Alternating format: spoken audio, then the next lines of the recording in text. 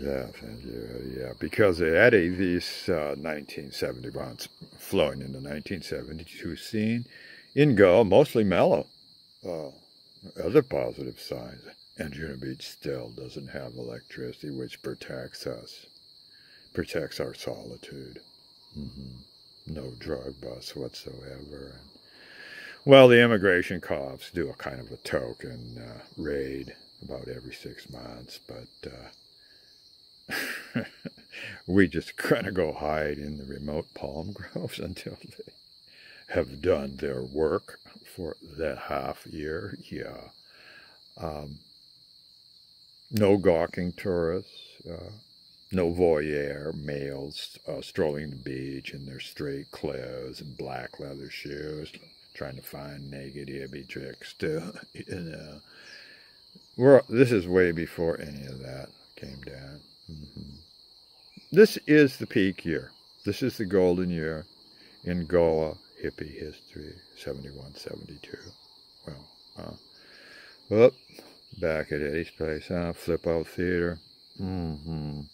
Cindy whispers to Eddie, Valerie uh, is talking weirdly to herself. I'm afraid she's going to jump down into the well. Eddie walks over, invites his Shakti.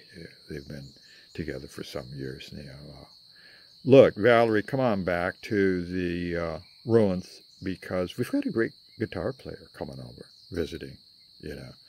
Uh, and he takes her by the arm to lead her back. Uh, but Valerie frees herself from Eddie's grasp. Jerk, uh, jerk, jerks her arm away. And Eddie recalls this exact moment as uh, she reveals to him his mistake that he's been making all these years. Well, what is that? Eddie explains at dinner with his tribe in the ruins, uh, his famous Last Supper speech. Here's what he says uh, You know? Uh, the eight finger Eddie uh, that you used to know is no more. I mean, still here, but I am no longer listening to your uh, problems, even in your dreams. Uh, you must solve your own problems. Mm-hmm. I can't solve them for you.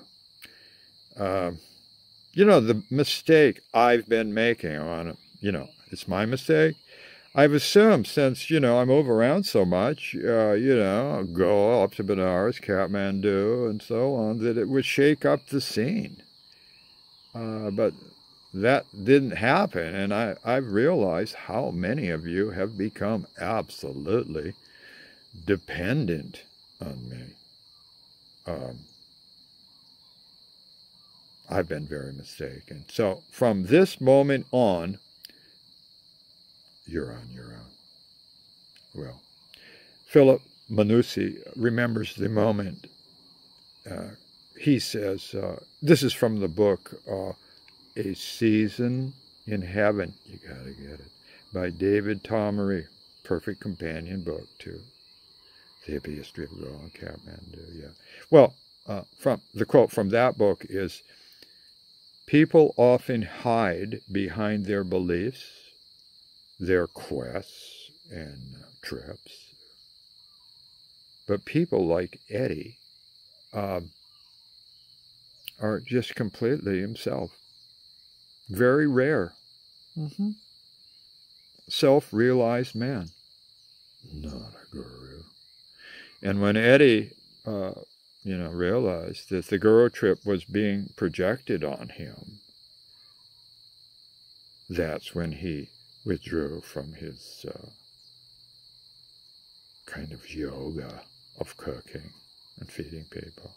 Yeah. Well, uh, Valerie performed her uh, role as a, uh, cosmic Shakti, in this case, Kali, and shocked Eddie into his egoless enlightenment at the well. Well, uh, this grand declaration of not cooking food anymore, uh, and that everyone must solve their own problems, is a master stroke. I mean, the proof of that is Chris and Valerie have been fighting over Eddie's body while he's trying to sleep. Well, now they move out and get their own house so they can spat independently, you know, and uh, get away from Eddie's body and especially Johanna and her death wish. tree.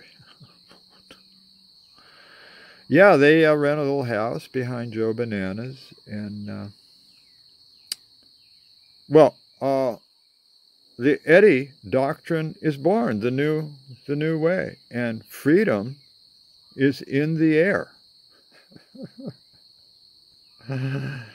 uh, Eddie wraps up this final interview at Joe Bananas by confirming, yeah, Earthman, I stopped uh, cooking food in the ruins uh, in the winter, 1972, uh, and I did not make my place a haven for hippies anymore. He smiles benignly. When I think back about the old days, uh, the most mysterious uh, effect uh, came down in that I realized whether I cooked only for myself over a month or fed 100 uh, hippies, that my grocery bill always came out the same. well, golden precious interview. Because my reflections on Eddie must stop here. When Eddie stops cooking, and there's freedom in the air. Yeah. Oh, his fruit salad to go is placed beside the table by uh, the wife of Tony Banana, wonderful woman. And Eddie, he's an old man, and he must be careful. Uh, just getting into his flip flops, he focuses downward, uh, scoots his feet in them. Mm. And then he glances at me nonchalantly and uh, says, uh, Have you talked to Francis yet? Francis?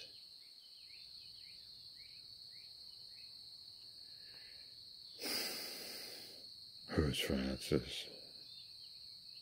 Oh, uh, Eddie says, you know, the Goan guy that rented me the first house on Anjuna Beach in 1969. And the phrase, first house on Anjuna Beach, just releases uh, a flood of images and memories. And oh, my poor memory runners, yeah, they get their track shoes drenched, bringing back all these treasured memories. Let me tell you about a few of those. First house in Goa.